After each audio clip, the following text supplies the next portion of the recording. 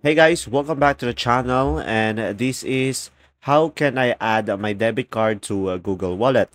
So first thing that you will do is simply go ahead and open up the Google Wallet and from here guys, once you open up the Google Wallet application, just simply go ahead and tap on add to wallet and from here just simply tap on payment card at the very top. So guys after that just simply follow the steps that i'm going to show you on the screen. Now guys from here just simply provide your valid card id for your debit card. And after that just simply provide the expiry date and the cvc code.